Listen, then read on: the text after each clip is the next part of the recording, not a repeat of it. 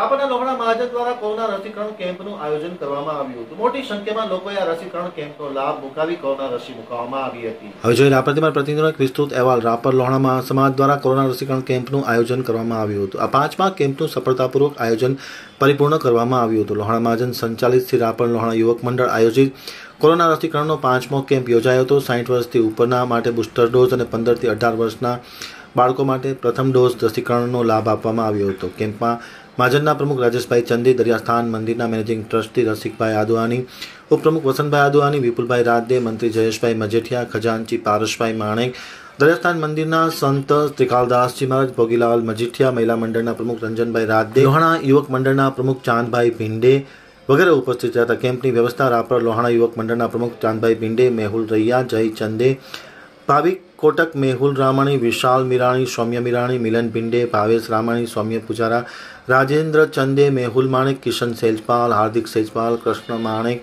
અલ્પેશ ભિંડે વગેરે સંભાળી હતી. રાપર પીએસસી તરફથી કંચનબેન સુવારિયા, રાહુલબેન, વેણુબેન, નવીનભાઈ દ્વારા રસીનું વ્યવસ્થા કરવામાં આવી હતી. સંચાલન પારેશ માણક દ્વારા કરવામાં આવ્યું હતું.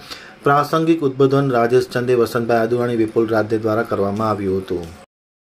શ્રી રાપર નવાણા માજનવાડી મધ્યે કોરોના રસીકરણનો પાંચમો કેમ્પ યોજવામાં આવ્યો હતો, જેમાં સાઠ વર્ષના વ્યક્તિઓને બુસ્ટર ડોઝ તથા પંદરથી અઢાર વર્ષના વ્યક્તિઓને પ્રથમ ડોઝ આપવામાં આવ્યો હતો. જેમાં રાપર લોણા માજનવાડી ખાતે રાપર લોણા માજનના પ્રમુખ રાજેશભાઈ ચંદ્રે તથા તેમની ટીમ, મહિલા મંડળના પ્રમુખ રંજનબેન રાજે તથા તેમની ટીમ, યુવક મંડળના પ્રમુખ ચાંદ ભીંડે તથા તેમની ટીમે જહેમત ઉઠાવી હતી. કોરોના રસીકરણ કેમ્પમાં કુલ સિત્તેર જણાએ રસીનો લાભ લીધેલો હતો. જય સિયારામ, જય જલારામ.